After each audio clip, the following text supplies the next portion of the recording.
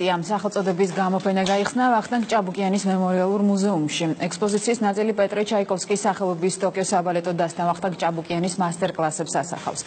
გამოფენაზე დამთვალიერებელი ჭაბუკიანის იაპონიაში პედაგოგიური მოღვაწეობის ამსახველ ფოტოკადრებს, მოწვევებს და მადლობის წერილებსაც გაეცნობა. გამოფენა თბილისის მუზეუმების გაერთიანების ორგანიზებით 4 ოქტომბრამდე გაგრძელდება.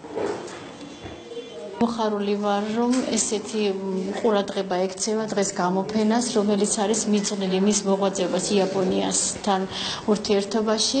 საერთოდ ეს არის უნიკალური პიროვნება. ჩვენ ვამაყობთ იმიტომ რომ ვართ მათი თანამემამულენი ეს ადამიანი არის რომელმაც გააკეთა რევოლუცია საერთოდ ბალეტში და მამაკაცის ცეკვა შეცვალა აბსოლუტურად. ახტან ჭაბუკენის მოღვაწეობა იაპონიაში? მნიშვნელოვანია ბევრი სხვადასხვა მიმართულებით. პირველი ეს არის საინტერესო ვახტანგ ჭაბუკიანის პედაგოგიური და პროფესიული მოღვაწეობა იაპონიაში და ასევე მნიშვნელოვანია რომ პირველად არის გამოფენილი ის საექსპოზიციო მასალა რომელიც მუზეუმში იყო დაცული ვახტანგ ჭაბუკიანის საარქივო მასალებში